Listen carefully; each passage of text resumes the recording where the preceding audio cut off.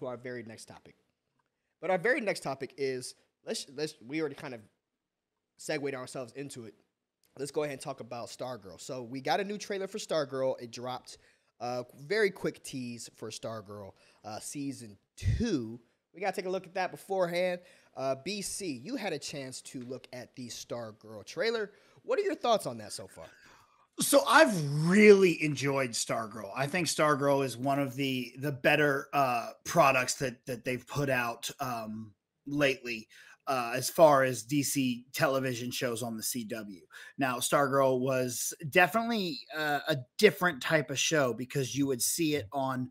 It started out on DC Universe and the CW, uh, where it came out, you know, along the time when Titan started, and you're thinking, okay, DC Universe is putting out their own shows, but then Stargirl was able to swap over between both. It was on CW, it was on DC Universe, and it definitely of the Arrowverse shows was given the most amount of money.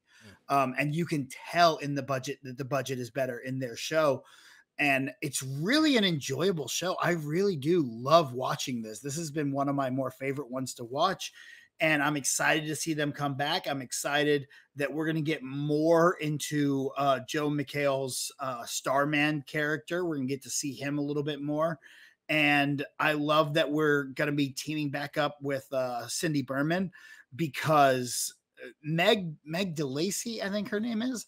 Uh, she is really good in this role. She plays this anti-hero now but when she was just more of a villain early on was really like visceral and entertaining to see her uh playing that role. So i'm excited to see what they have going on more with them in dc stargirl. And if they sell the cw um i think this and superman might be one of the only two that really survive uh, a move to uh hbo max Right, and, and and that's kind of where I'm at with it. So I saw the Stargirl trailer. I did not watch the first season of Stargirl, um, partly because I was very confused about where it was coming. Because I had the DC Universe app back whenever that was a thing, um, and then I did I, I, I, I, didn't. I don't. I stopped watching the CW after uh, what they did with the Flash um, on that show. So I haven't had a chance to check that out yet. I was under the impression that Stargirl was going to be coming to HBO Max.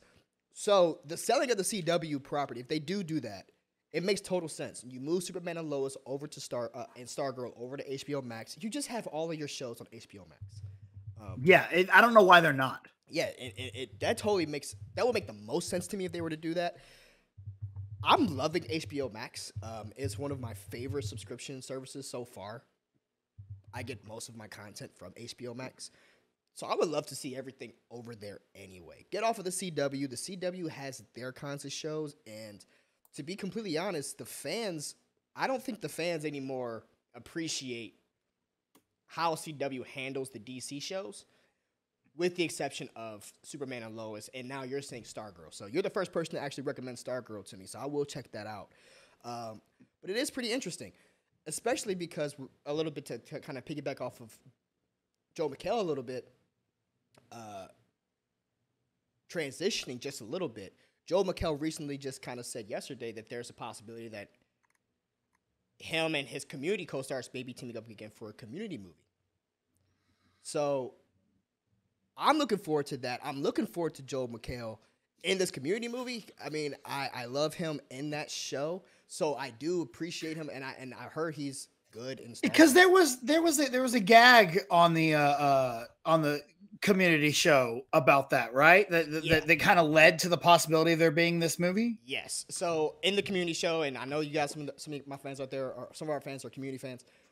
The whole gag about it since they started the first season was six seasons in a movie. Six seasons in a movie. It's very meta, and they did their sixth season, and now we're waiting for the movie. Ever since the show was canceled back in 2017, 2018, um, and it shifted over to to Yahoo and stuff. They've always been talking about this community movie and so yeah. Joe McHale recently just announced that hey, they're getting closer to doing this movie. Uh, now with the streaming services taking off the way that they are, everyone's getting a spinoff at this point. Right? Oh yeah. Oh, everyone's oh, yeah. getting a spinoff. Everyone is getting a reboot. We're going to talk about a reboot probably next, right? That yeah, exactly. Talk about, and it's all because these streaming services. So yeah, let's get that community mood, uh, community movie. We all know why it's taking so long. It's because of how successful Donald Glover has gotten. Childish Gambino, right between Atlanta, Uh-huh. uh, playing Lando Calrissian, and there's still a Lando show on his uh, on his radar that he's supposed to be doing. So I would definitely love to see this community movie. I definitely want to see Joel McHale and Stargirl since you recommended it to me. Um, but that's pretty much all I got on this matter. BC, what are your thoughts about? Uh, do you have anything else to add on this matter? Uh, so apparently, you know, Stargirl will air on the CW and then the next day be available on HBO Max. So that's what I just kind of looked up. If I'm not if I'm not reading that wrong, that's kind of what I'm seeing there. So like the reverse, So- Hulu, so like kind of like the Hulu model back when. exactly, used to drop exactly. You'll be able to watch it day 1 on CW and then next day on HBO Max, which I think is, you know, a smart move That's either smart way. move. That's a smart play, but it all roads lead to HBO ult- ultimately HBO Max. Um, Yes. I think that's the proper way to do it. They, they get better budgets, and, they, and it just seems to be most shows on HBO Max are just better constructed Mhm. um, in its entirety. And HBO originals just hit it out the ballpark.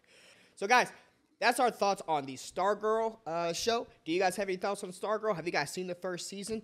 What are your thoughts about it and the second uh, and the new trailer that came out? We would love to hear your thoughts on that as we move on to our very next topic.